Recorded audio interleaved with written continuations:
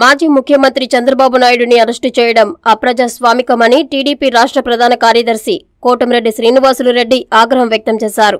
Nellore children's park సమీపంలోని శ్రీనివాసులు రెడ్డి నివాసం వద్ద పోలీసులు మోహరించారు. ఆయన్ని పోలీసులు హౌస్ అరెస్ట్ చేశారు. దీంతో పోలీసులపై కోటంరెడ్డి తీవ్ర ఆగ్రహం వ్యక్తం చేశారు. వైఎస్సార్ హయాంలో చంద్రబాబు మీద ఎన్నో కేసులు పెట్టారని ఒక్కటి కూడా నిరూపించలేకపోయారని గుర్తు చేశారు. వైఎస్సార్ లాంటి వ్యక్తే చంద్రబాబు వెంట్రుక కూడా పీకలేకపోయారని ధ్వజమెత్తారు. చంద్రబాబు అక్రమ అరెస్టుపై రాష్ట్ర ప్రజలందరూ ఆగ్రహంతో ఉన్నారని ఆయన అన్నారు. ఆయన్ని వెంటనే విడుదల చేసి బేషరతుగా సీఎం వైఎస్ జగన్ క్షమాపణ చెప్పాలని కోటంరెడ్డి డిమాండ్ చేశారు.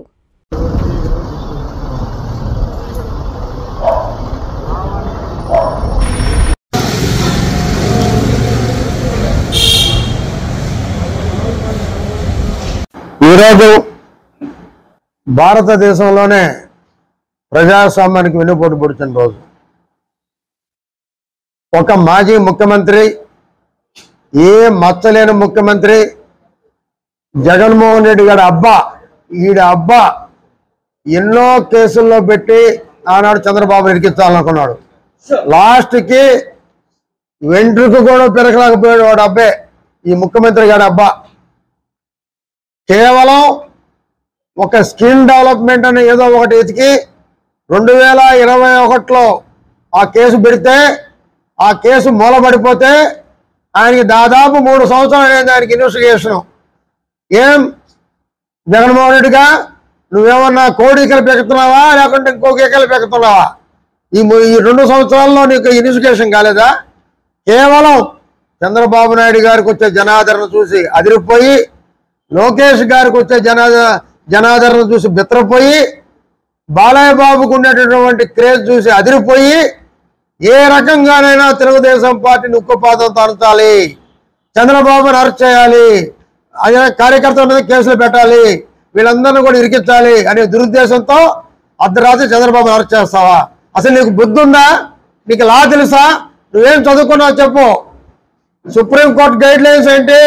శుక్రవారం సాయంత్రం అయితే రాజకీయ నాయకులు కానీ ప్రముఖులను కానీ ఎవరిని అరెస్ట్ చేయకూడదు అని ఉంది. ఎందుకంటే శనివారం ఆదివారం కోర్టు లేదు కాబట్టి. ఒరే సిగ్గులేని ముఖ్యమంత్రి శుక్రవారం అర్ధరాత్రి ఎలా అరెస్ట్ చేస్తావు చంద్రబాబు నాయుడు దొంగ. ఏమన్నా నీలాగేమన్నా లక్ష కోట్లు దోసుకున్నాడా? నీలాగేమన్నా పదకొండు కేసుల్లో చీటింగ్ కేసుల్లో ఏమనగా ఉన్నాడా? ఫ్రెష్గా ఉండే ముఖ్యమంత్రి మా మా మాజీ ముఖ్యమంత్రి చంద్రబాబు నాయుడు గారు. నువ్వు జనాలను చూసి భయపడి రే నీకు బుద్ధుంటే నువ్వు ముఖ్యమంత్రి అయితే మీ చిన్నాయన చంపిన అవినాష్ రెడ్డి ఇంతవరకు అరెస్ట్ చేయలేదురా నువ్వు. నీ భారతీయ బంధువు కాబట్టి వాడిని కాపాడుకుంటున్నావు. నీ సొంత చిన్నాయన చంపిన ఇంతవరకు నువ్వు అరెస్ట్ చేయలేకపోయావు. ఏ కేసు లేని మా చంద్రబాబుని అక్రమంగా ఈరోజు అరెస్ట్ చేశావు. నేను ఒకటే అడుగుతున్నా జగన్. ఇమ్మీడియట్గా క్షమాపణ చెప్పి బేషరతుగా కానీ వదిలిపెట్టకపోతే నువ్వు ఈరోజు నువ్వు పెడతావు. పోలీసులు పెట్టి ఉద్యమాన్ని ఎవడు ఆపలేడు అనుకుంటున్నాయేమో కేసులకు ఎవరు ఇక్కడ భయపడేవాడు లేడు? చంద్రబాబు నాయుడిని ఇలాగే నువ్వు కానీ నువ్వు కానీ ఏమాత్రం కానీ హింసిస్తే ఈ రాష్ట్రంలో రక్తపాతం తప్పదని కూడా హెచ్చరిస్తున్నా. వైద్యుడిని దేవుడితో సమానంగా కొలిచే దేశం మనది. అలాంటి వైద్యులనే సృష్టించే విధాత నారాయణ. కేవలం నీట్ రెండు వేల ఇరవై రెండులోనే పదిహేను వందలకు పైగా డాక్టర్స్ని దేశానికి అందించిన ఘనత ఒక్క నారాయణదే. నీట్ అంటే నారాయణ నారాయణ అంటే డాక్టర్లను సృష్టించే విధాత.